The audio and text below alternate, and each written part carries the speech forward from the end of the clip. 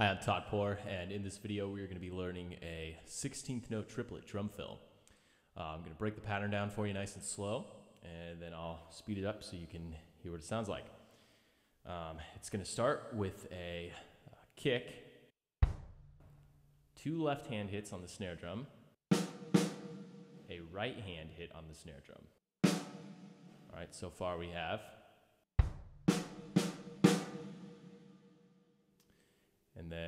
last two notes will be left hand on your high tom,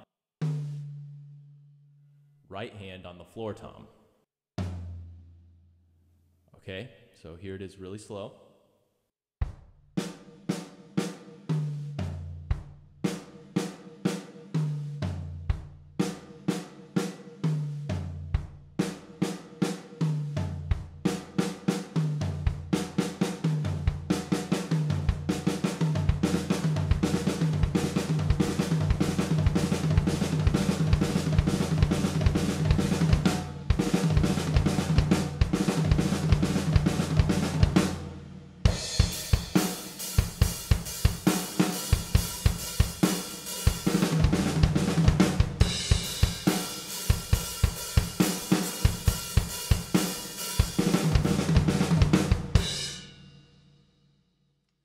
All right.